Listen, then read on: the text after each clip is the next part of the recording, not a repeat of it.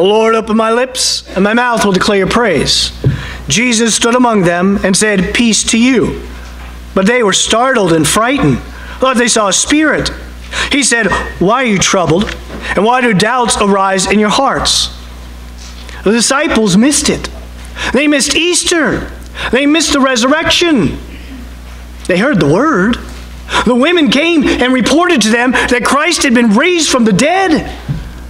And yet they were in disbelief. They blew it off. And in so doing, they were filled with worry. Their minds were racing, their hearts were troubled, and despair was winning the day.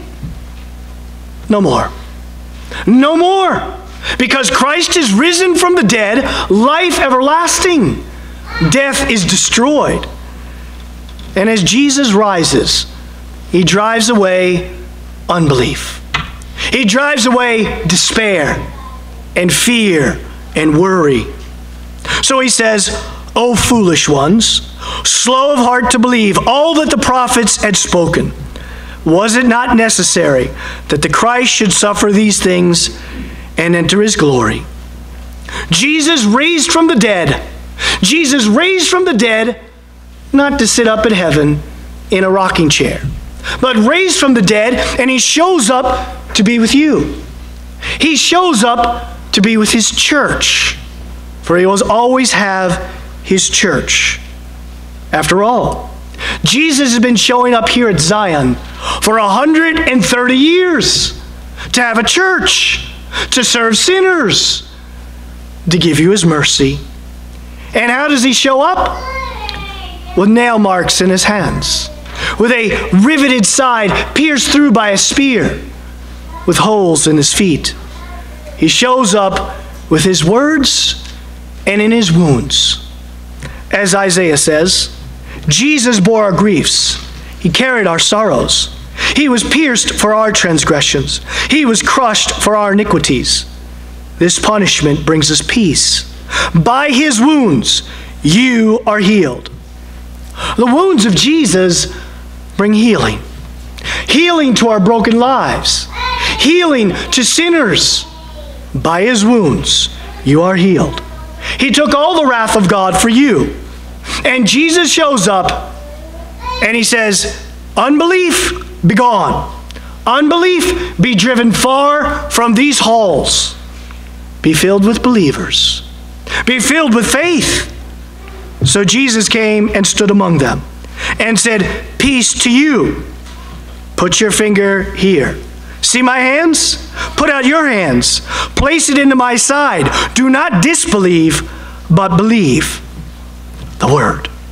The Word of God drives away unbelief. And the Word of God opens our mouths to confess Jesus, my Lord and my God.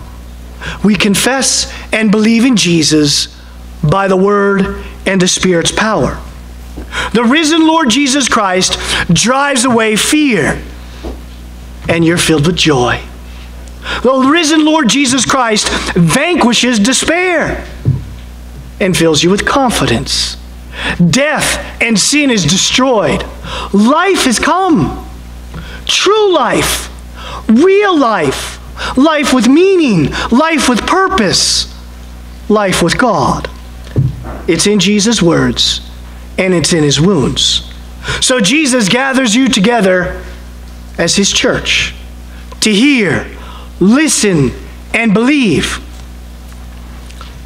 So let's study the Bible. No, really. Let's blow the dust off this thing. Let's study the Bible. And Jesus gathers the disciples around him and he says, It's time for Bible study, boys. Let me teach you what this word is all about. I'm going to give you the key to rightly understanding the scriptures. So, are you listening? This is more important than bending your ear in to hear what E.F. Hutton has to say. These words are much more important. So, listen. Jesus says, These are my words. I spoke while I was with you, that everything written about me in the law of Moses, the prophets, and the Psalms must be fulfilled. Then he opened their minds to understand the scriptures. Minds opened, hearts opened by the Spirit's power. And Jesus teaches us what this book, the Bible, is all about. The book, the Bible, belongs to Jesus. It's His. He dotted every I, He crossed every T. He signed the Word of God in His blood. It's His Word. And this Word of the Scriptures is all about Jesus.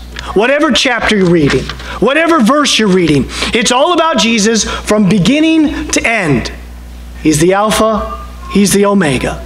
He's the heart, the core, and the center of the Scriptures. Crucified and risen for you. Jesus says it like this in John 5 You search the Scriptures. You think that by them you have eternal life. These are the Scriptures that bear witness about Jesus. So, this is no Bible code. This is no mystic knowledge trying to find God in our feelings. This is no looking for God in all the wrong places of moralistic stories. Try harder to reach God. No works righteousness. Rather, Jesus crucified, Jesus risen. You're forgiven. All in Christ's words. He has been raised from the dead and he's in his word. His word, his word, his word. His word for you. These words are spirit. These words are life. They give you life. Christ opened their minds to understand the scriptures. Thus it is written that Christ should suffer and on the third day rise from the dead, and repentance and the forgiveness of sins be proclaimed in Jesus' name to all nations. Minds opened, minds blowing. And if I could put an emoji right there, it would have the mind blowing when we hear that the scriptures are all about Jesus. Jesus for you. It's the opposite of what everybody else would say. Jesus comes to give himself for you, to serve you. And now, you ready for the shocking part? Are you ready for the part that really kind of throws you back? Here's the shocking part when it comes to the Bible you don't interpret it. You do not interpret the scriptures. Otherwise, we could like leave behind the parts we don't like and hold on to the parts we do like, and it leave this book weak and impotent. You don't interpret the Bible. Rather, the Bible interprets you. That's the shocking part. The Bible interprets you and says, You're a sinner. Says you need a Savior. Jesus is the Savior. You need His mercy. A giant x ray machine exposing our hearts that we need Jesus, the Savior, saving sinners like us. And the Word comes and does its work. What the Word does, the Word repents you. The Word of God, by the Spirit's power, brings us into the state of repentance. And we've already confessed it together. I, a poor, miserable sinner, and we don't just simply mouth the words. No, by the Spirit's power, the Lord convicts us that we are sinners before the holy and righteous God, and we come clean. I'm a sinner, Lord. I'm the one for whom you came to forgive. Jesus says it like this There'll be more joy in heaven over one sinner who repents rather than the 99 righteous persons who have no need of repentance. Joy in heaven. Heaven is celebrating today because you confess your sin. And heaven rejoices because Jesus only comes to forgive sinners. Only sinners need the Savior. And by the word's power, He repents you and forgives you. So Jesus has been raised from the dead, and He sends the apostles out to preach to preach this all powerful, all authoritative word into our ears and into our hearts, to call you to repentance and to forgive you. Repent, believe, and receive. Jesus sends the disciples out like this in Luke 10 The one who hears you hears me. The one who rejects you rejects me. The one who rejects me rejects him who sent me. So as you're repenting, as you're believing, as you're receiving, you're receiving our Lord's words. You're trusting in Jesus, and you have life So the Lord keeps on sending pastors. Because we need to hear this word. And so the word keeps on going forth. The preaching office for your sake. As Luther rightly teaches in regards to the office of the keys, when the called ministers of Christ deal with us by his divine command, in particular, when they exclude openly unrepentant sinners from the Christian congregation and absolve the repentant sinner who want to do better, this is just as valid and certain, even in heaven, as if Christ our dear Lord dealt with us himself. Jesus is relentless. He's relentless when it comes to forgiveness. He's a bulldog.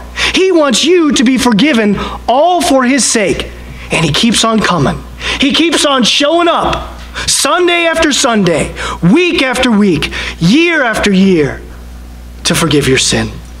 That's the Lord at work in his church by the resurrection power bringing you his word. So when the pastors do their jobs faithfully, they don't do it for their sake. When we serve faithfully, we are serving our Lord and we're faithful to the word, proclaiming it to sinners forgiveness. So, what do your pastors do? What's their jobs? Preach, admonish, reprove, correct, train in righteousness, baptize, bless, teach, absolve, Lord's Supper. And all these things are done at Christ's command. At Christ's command, at Christ's word, these things are done. And by the Spirit's power, He brings you peace. Hearts that are disturbed, no more. Minds that race, they're at peace. Because the Word of God has been proclaimed. Acts 20. Pay careful attention to yourself and all the flock, which the Holy Spirit has made you overseer, to care for the church of God, which he obtained with his own blood. A care of souls. And how your pastors care for the souls of the sheep is by the Word of God. The Word of God faithfully preached to forgive your sins. So you, you're to judge your pastors. Really, you are. And how you are to judge your pastors is by the Word of God. And check us out. To see what we say, to see if what we say is right, to see what we say is true. But in order to do that, you got to know what the Word says. You have to know it yourself in order to judge your pastors.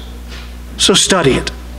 Be like the Bereans in Acts 17 the Bereans were more noble than the Thessalonians. They received the Word of God with eagerness. They examined the Scriptures daily to see what Paul said if it was true. So study it, check it out, blow the dust off it, and judge your pastors. And you don't judge your pastors by seats or dollars it's not how you judge your pastors. Your pastors are not people pleasers, telling people what their itching ears want to hear. That would be unfaithful. And tragically, when it comes to many churches, they're run like businesses, and they view the elders like the stockholders. And you better do what we tell you, or else. And there's a hire and a fire mentality. We hire a pastor, we can fire him. Be done with him. Treating the church like a business. That's not the preaching office. The preaching office belongs to Jesus, it's His. And there's only one way I'll ever speak of the church as a business, and it's like this the church is in the forgiveness business. That's the only way I'll talk about this as a business. All others be gone. Paul tells Timothy, There's one God, one mediator between God and men, the man Christ Jesus. He gave himself as a ransom for all, the testimony given at the proper time. For this I was appointed a preacher. A preacher!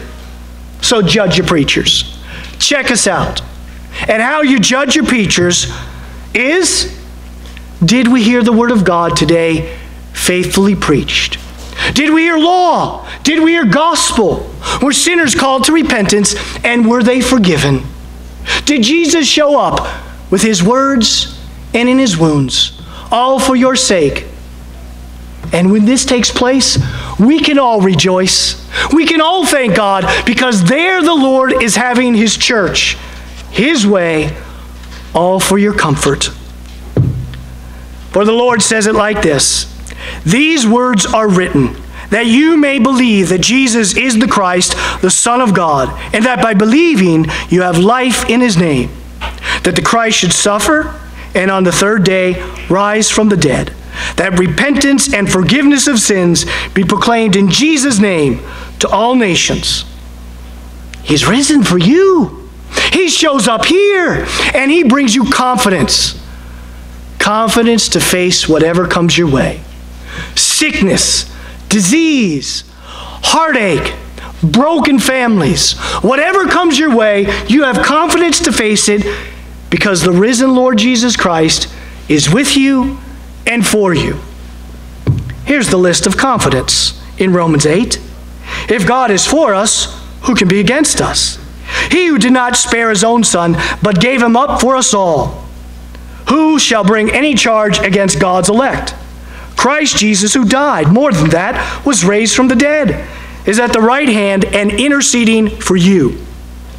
Who shall separate us from the love of Christ?